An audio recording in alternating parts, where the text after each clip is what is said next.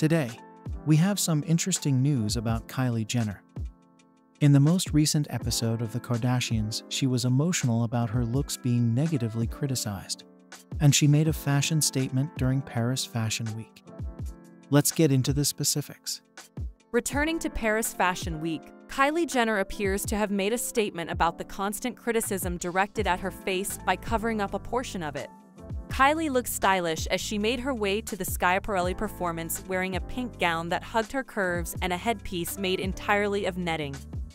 When Kylie was last in Paris for Fashion Week, it was in January. Her photo at the Jean Paul Gaultier Haute Couture show garnered a lot of attention, despite her wearing no makeup. Kylie revealed to her sister Kendall Jenner that she had been the target of bullying and insults in the latest episode of The Kardashians. It's a miracle that I still have confidence and I can still look in the mirror and think that I am pretty. Because I just feel like after Paris, there was this picture, which for the first time I was like, we are not going to wear a lot of makeup, and it's like I wear too much makeup, and it's like you're wearing too much makeup. Then I go and don't wear a lot of makeup, and someone catches me in a weird light. You can look at pictures since I'm 13. I just have these lines, but I have had them since I was a child. An emotional Kylie continued, I went on a journey last year dissolving like half of my lip filler. I hate even having this conversation over and over and over again because it feels like it's a waste of my breath.